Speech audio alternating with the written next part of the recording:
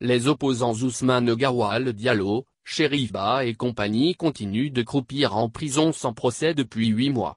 Le député Aboubacar Souma appelle la justice à créer toutes les conditions utiles à la manifestation de la vérité lors d'un procès juste et équitable. Cet ancien collaborateur de Seloud Alain Diallo encourage Ousmane Gawal Diallo et ses codétenus à continuer le combat pour être fixés sur leur sort.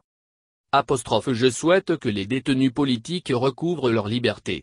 Je leur demande de ne pas accepter qu'on les libère sans que les Guinéens ne sachent les raisons qui ont poussé le pouvoir à les emprisonner.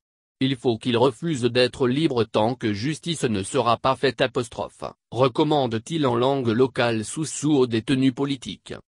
Apostrophe Certains quittent la prison pour être chef d'État.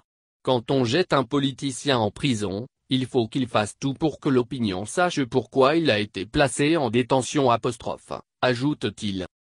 Après plus 8 de prison, le député Souma estime que les Guinéens sont en droit de savoir les faits reprochés à Ousmane Gawal Diallo et compagnie.